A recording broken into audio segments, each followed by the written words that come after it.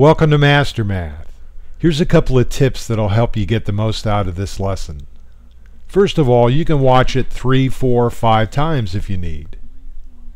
Secondly, if you go through a section and don't understand what we're talking about, hit your back button and review that section again.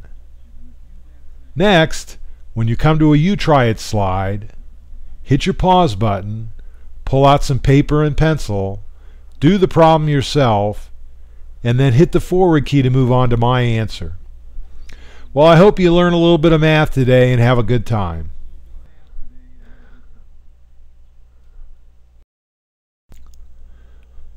Today, we're going to be talking about finding missing dimensions of plane figures and prisms.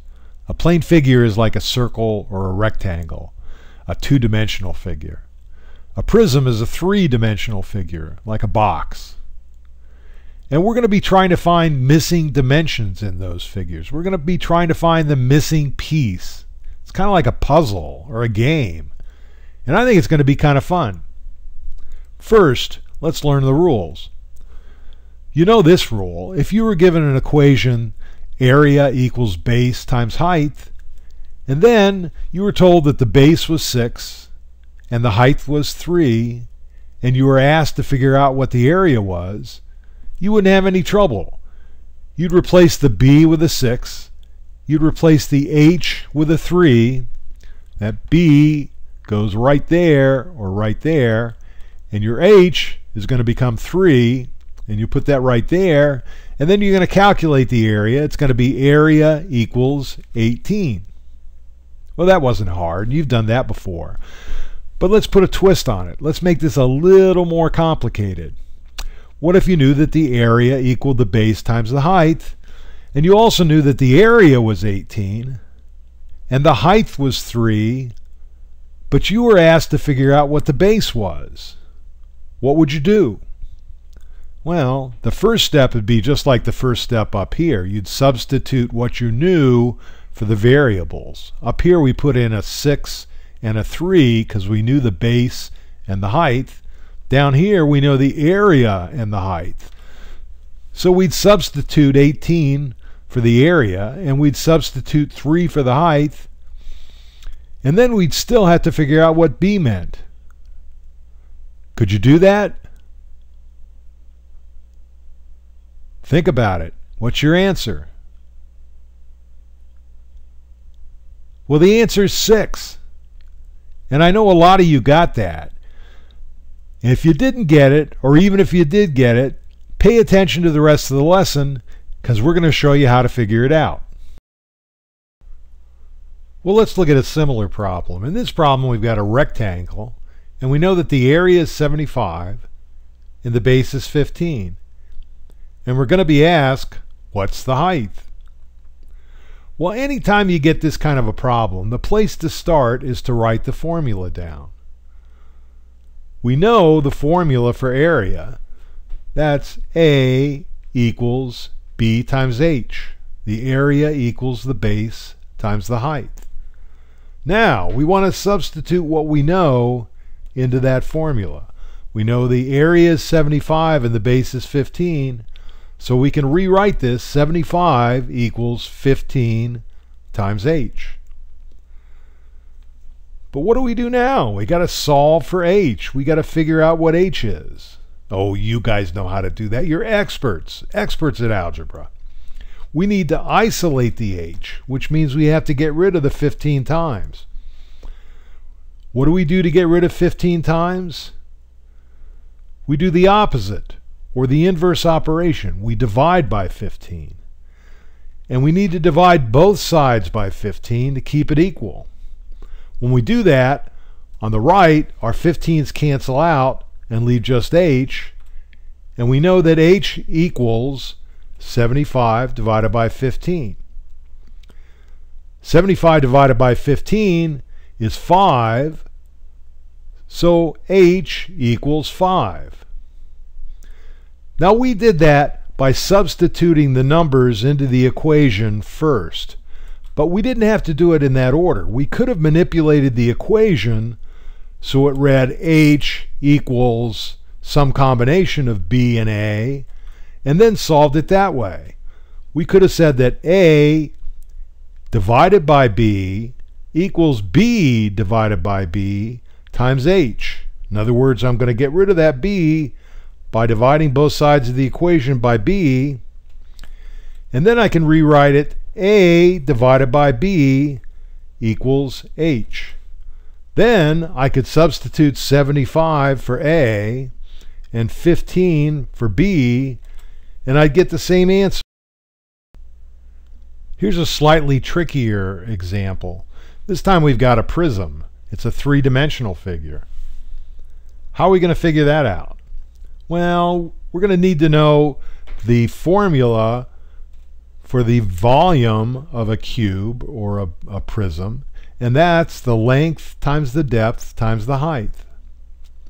Now they're going to give us some information. In this case, they're going to tell us that the volume equals 3,000, the length equals 20, the height equals 10, and they're going to ask us to tell, figure out what the depth is.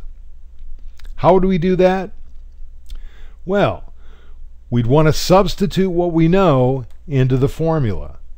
We know that the volume's 3,000, and we know that that 3,000 equals the length, or 20, times the depth, which we don't know, d, times the height, which is 10. Now, we want to get rid of the 20, so we isolate the d, so we're going to divide both sides of the equation by 20, and that's going to cancel out that 20 and leave d times 10 equals 3,000 divided by 20. Now we need to get rid of the 10. So we're going to divide both sides of the equation by 10. And when we do that, the 10s on the right are going to cancel each other out. So we've got D equals 150 divided by 10. And 150 divided by 10 is 15 centimeters. You try this one. Hit your pause button do the problem, and then hit the forward key to move on to the answer.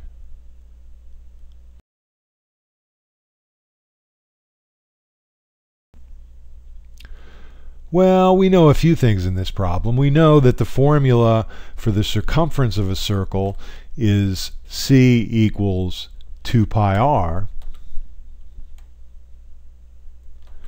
And we also know that the circumference of this circle is 37.68 inches. And we know that we're going to use 3.14 for pi. Well, there's two ways we could go about this.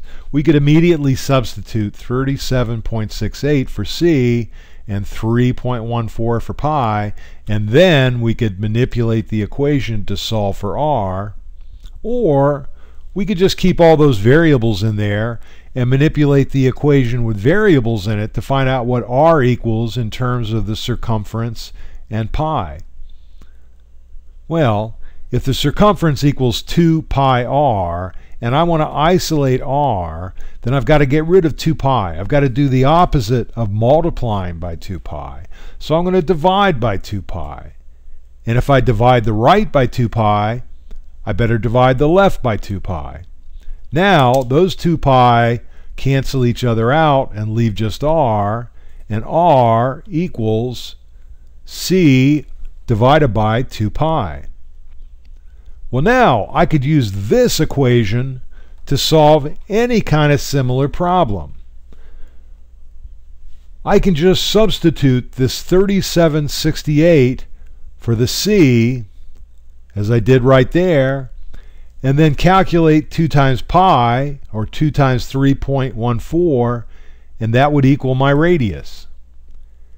And when I did the math, 37.68 divided by 2 times 3.14 equals 6.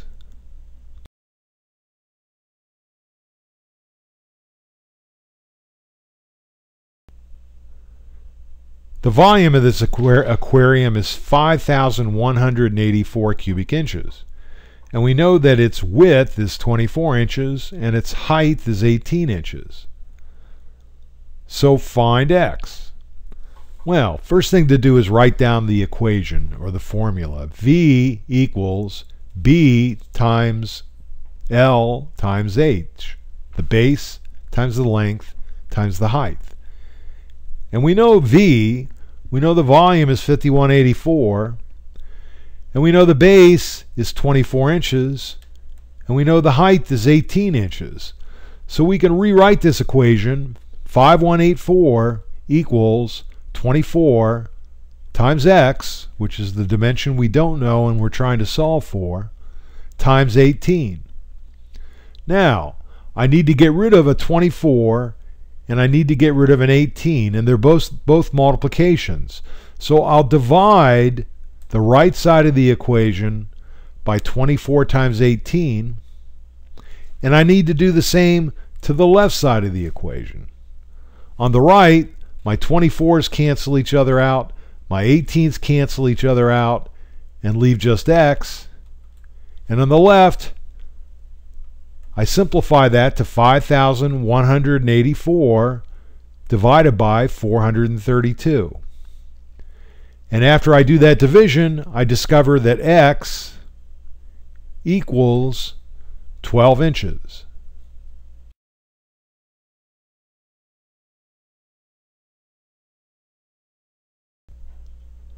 Well, this is a little bit tricky. Let's see you see, see it and then read it again so you focus in on the important stuff. Farmer Frida planted corn seed. Each bag of corn seed covers 1,000 square feet. She used all of eight bags of corn seed, and her cornfield is 125 feet long. How wide is her cornfield? Well, we, we, we know that each bag of corn seed covered a thousand square feet. A thousand square feet. That's square feet. That's a measurement of area, isn't it? And we know that she used eight bags of corn seed. For each of those eight bags, she covered a thousand square feet. So in total, she covered eight times a thousand, or 8,000 square feet. Now, we know that the area equals the length times the width. And we just figured out that the area of Farmer Frida's cornfield is 8,000 square feet. And we know that the length of the cornfield is 125 square feet or 125 linear feet. And we know that the area equals that length, 125 feet, times the width. And we're trying to solve for the width. So, to solve for that, we need to divide both sides of the equation by 125, so we isolate that w. And when we do that, we calculate that the width equals 64 feet. That's our lesson on finding missing dimensions of plane figures and prisms. I hope you learned a lot. Let's test that. Go to www.mastermath.info and down the worksheet on finding missing dimensions of plane figures and prisms. Try your luck there, and after you've finished, go back to MasterMath and take the quiz on finding missing dimensions in plane figures and prisms. I hope you had a good time. I hope you learned something, and I hope I see you again real soon.